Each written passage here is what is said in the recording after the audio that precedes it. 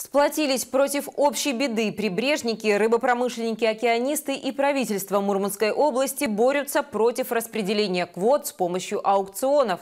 Такой способ, по мнению некоторых промышленников, может убить отрасль и привести к серьезным убыткам в региональном бюджете.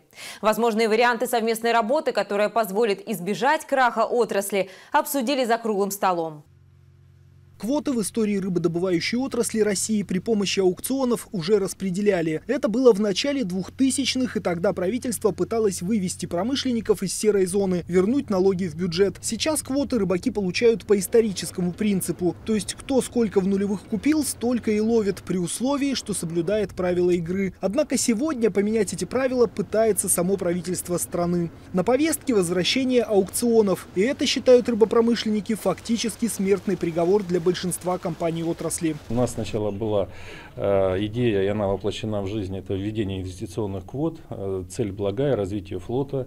Но э, сейчас что мы видим? При введении аукционов э, малые и средние предприятия, у них нет возможности брать кредиты под строительство, они уже потеряли пятую часть своих квот ну, и они переведены в инвестиционные. Крупные предприятия, которые погрязли в кредитах по строительству, они уже не смогут прийти на аукцион, у них просто не будет денег. Первыми с рынка могут исчезнуть местные прибрежники и рыболовецкие колхозы. За ними последуют и более крупные компании. Это неминуемое снижение налоговых отчислений в местный бюджет. А значит, правительству области придется уменьшать и какие-то расходы. Учитывая, что огромная часть областной казны тратится на социальные обязательства, ситуация безрадостная. И руководство региона это понимает, потому сегодня также выступает против изменения принципа распределения квот.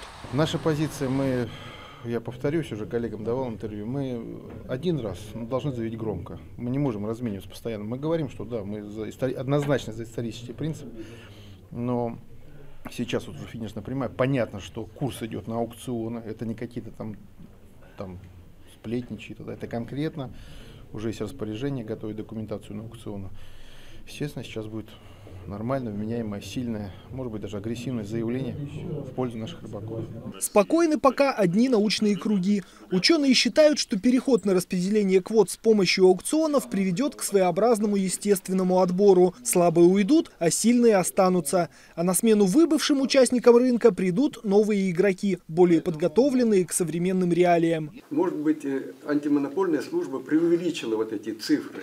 То есть надо на аукционы не больше 10-15%.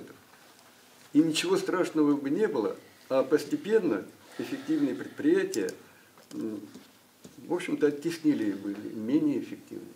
Кем будут эти более эффективные предприятия и из каких регионов, неизвестно. Учитывая, что местные промысловики разорятся, скорее всего, придут они точно не из Мурманской области. А значит и рыба, и деньги из региона уплывут.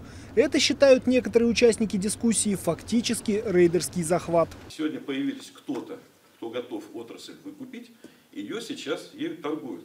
В дурном сне невозможно было представить, что квота станет товаром. Вы о чем говорите? Какие аукционы? Вы что?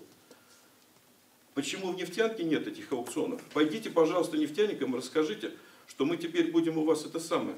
Вы теперь каждую скважину 5 лет, а потом выставим на аукцион, и рыбаки придут, купят.